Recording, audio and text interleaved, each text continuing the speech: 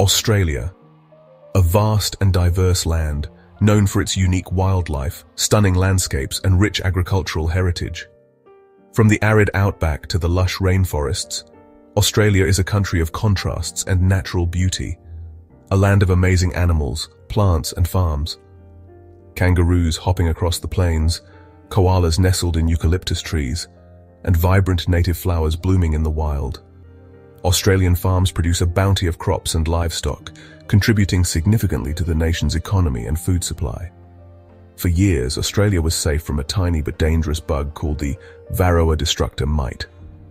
This mite, barely visible to the naked eye, has wreaked havoc on honeybee populations around the globe. Honeybees, essential pollinators for many crops, have been under threat from this relentless parasite.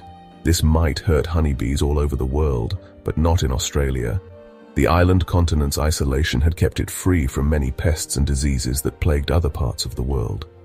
Australian beekeepers enjoyed a unique position, able to maintain healthy hives without the constant fear of varroa mite infestations. Then, in June 2022, everything changed. The discovery of the varroa mite in Australia sent shockwaves through the beekeeping community and beyond. It marked the end of an era of relative safety and the beginning of a new uncertain chapter. At the port of Newcastle in New South Wales, the varroa mite was found. Everyone was worried. The port, a bustling hub of activity, became the epicenter of a biosecurity crisis. The implications of this discovery were far-reaching, threatening not only the beekeeping industry, but also the broader agricultural sector. It was a big emergency. Authorities quickly mobilized, holding urgent meetings and deploying emergency response teams. News headlines blared the alarming discovery, and the nation watched anxiously as efforts to contain the outbreak began. This tiny mite was a huge problem for Australian bees and the important work they do to help plants grow. Honeybees are crucial pollinators, responsible for the reproduction of many flowering plants and the production of fruits, vegetables, and nuts. Without them, the agricultural landscape would be drastically altered. Everyone had to act fast to protect the bees and the farms that depend on them. Beekeepers, farmers, and scientists joined forces, working tirelessly to develop strategies to combat the mite and safeguard the nation's bee populations. The sense of urgency was palpable, as the stakes were incredibly high. Right away, people tried to get rid of the mite. Various methods were employed, from chemical treatments to mechanical interventions, in an all-out effort to eradicate the pest. The beekeeping community showed remarkable resilience and determination, adapting quickly to the new threat.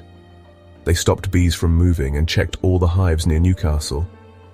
Quarantine zones were established, and strict biosecurity measures were put in place to prevent the mite from spreading further. Beekeepers meticulously inspected their hives, looking for any signs of infestation. Beekeepers near the port had to kill their bees, which was very sad. The decision to destroy infected hives was heartbreaking but necessary to protect the broader bee population. The sight of empty beehives and the sorrow of beekeepers who had lost their colonies underscored the gravity of the situation, but it was important to stop the mite from spreading.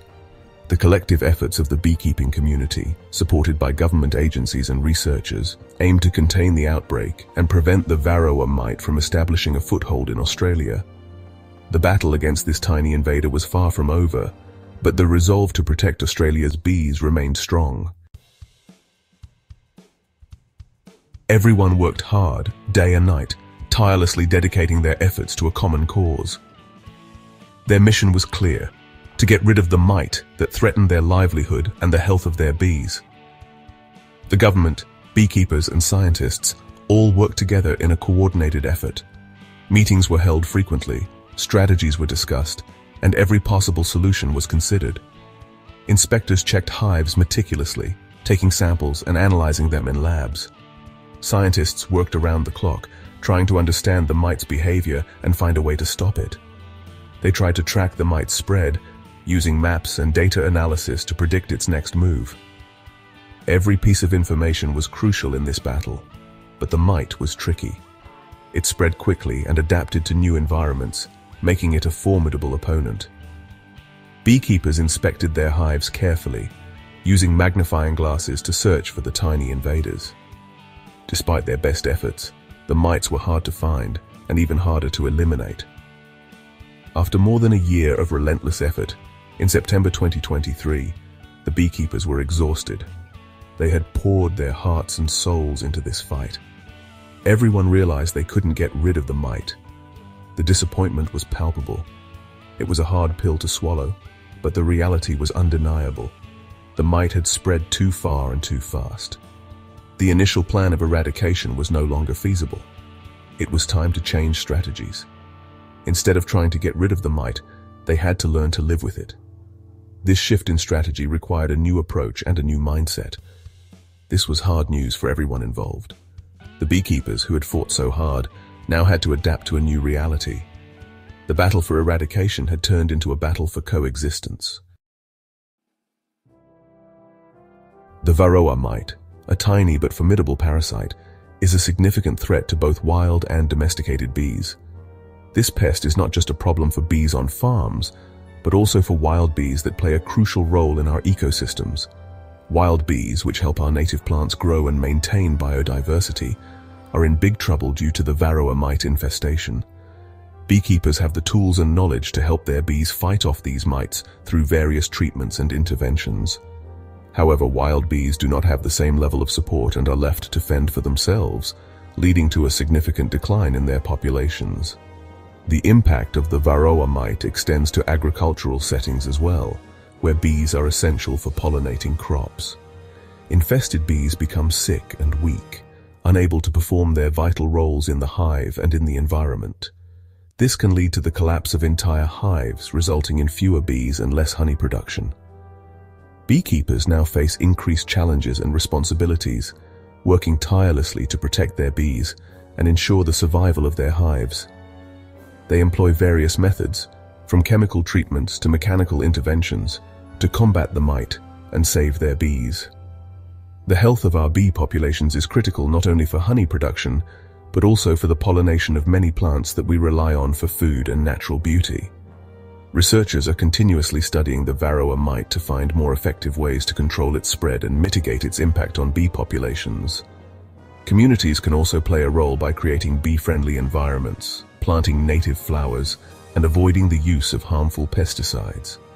Education and awareness are key to ensuring that future generations understand the importance of bees and the threats they face. By working together, we can help protect our bees and ensure that they continue to thrive, supporting both our agriculture and natural ecosystems. The varroa mite isn't just a problem for bees. Bees help grow lots of our food, and that's worth lots of money. The mite could cause big problems for farmers and everyone who buys food. Fruit, vegetable, and nut farms need bees. Almonds, avocados, blueberries, and other foods need bees to grow. If the bees are sick, there will be less food, and food will be more expensive. The varroa mite isn't just bad on its own, it also carries viruses that make bees even sicker. One virus called deformed wing virus, or DWV, is especially bad. DWV makes bees' wings messed up so they can't fly. They can't do their jobs in the hive. The varroa mite makes DWV and other viruses much worse. This can cause whole hives to die. If we don't do something, the mites and viruses could kill lots of bees. The government, beekeepers, and scientists are working together to fight the varroa mite. They can't get rid of it, but they can try to control it. They are making it harder for the mite to spread. They are checking what comes into Australia and watching where bees go. Finding the mite quickly is important. Almonds are in big trouble because of the varroa mite.